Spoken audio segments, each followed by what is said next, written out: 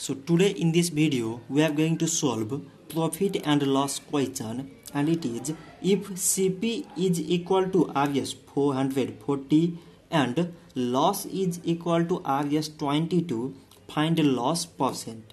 So first of all we have to write what is given here.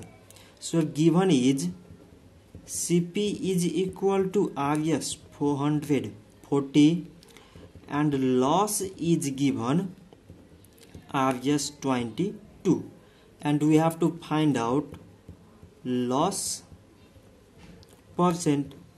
So to find out loss percent first of all you have to use its formula. And its formula is actual loss by CP into 100 percent. So this one is the formula.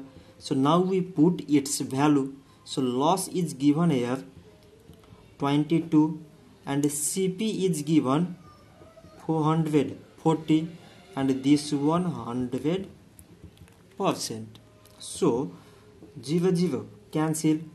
22 times 1 mean 22 times 2 mean it is 44 so like as 2 times 1 mean 2 2 times 5 mean 10 so 1 into 5 mean it is 5 percent. So the total loss percent is 5 percent so this much for today and thanks for watching